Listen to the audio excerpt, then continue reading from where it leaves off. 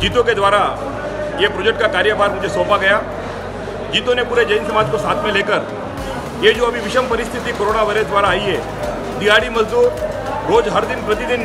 अपने नौकरी पेशा से हर दिन कमाकर अपना जीवन निर्वाह करने वाले परिवार, झुग्गी झोपड़ी वाले परिवार, कमज़ोर परिवार, जो इस अचानक शटडाउन के कारण, भारत लॉकडाउन के कारण जो तकलीफ़ में आ गए, उन परिवारों को भोजन देने का जीतों ने कार्यभार संभाला।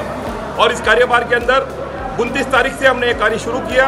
चौदह हज़ार पाँच सौ खाना सुबह, चौदह हज़ार पाँच सौ खाना शाम को शुरू करते हुए हमने धीरे धीरे अपनी क्वांटिटी बढ़ाते गए। फिर चौदह से अठारह अठारह से इक्कीस, अब प्रतिदिन तेईस हज़ार सुबह और तेईस हज़ार शाम को छियालीस हज़ार भोजन यहाँ पे वितरित किया जा रहा है। अभी कल चौदह तारीख जो पहला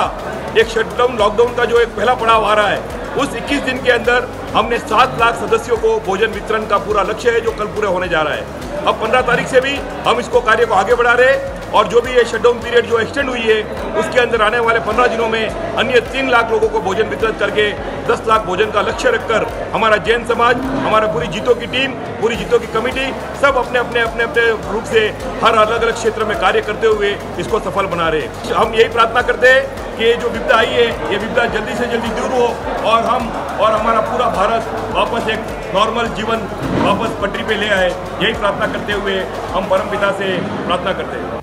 हमने जब कार्य प्रारंभ किया, बेंगलोर, पूरा बेंगलोर को कवर किया, फिर हमें पता लगा कि जैन समाज की और अन्य कई संस्थाएँ सिटी में बहुत कार्य कर रही है। तो सिटी एरिया को हमने कम करते हुए बेंगलोर के जितने भी एक्सटेंशन एरिया है, जहाँ पे कोई सेवा नहीं पहुँचती है, जहाँ पे सरकार की भी सेवा पहुँचने में मुश्किल है, और वहाँ पे जहाँ पे मतलब मजदूर लोग ज़्यादा फंसे हुए हैं तो हमने बेंगलोर के पूरे एक्सटेंशन एरिया के अंदर अपना डिस्ट्रीब्यूशन प्लानिंग किया है और उस हिसाब से आज ये कार्यभार हमारा बहुत सफल हुआ है और लोगों की ज़रूरत देखते हुए इसको आगे बढ़ाया जा रहा है।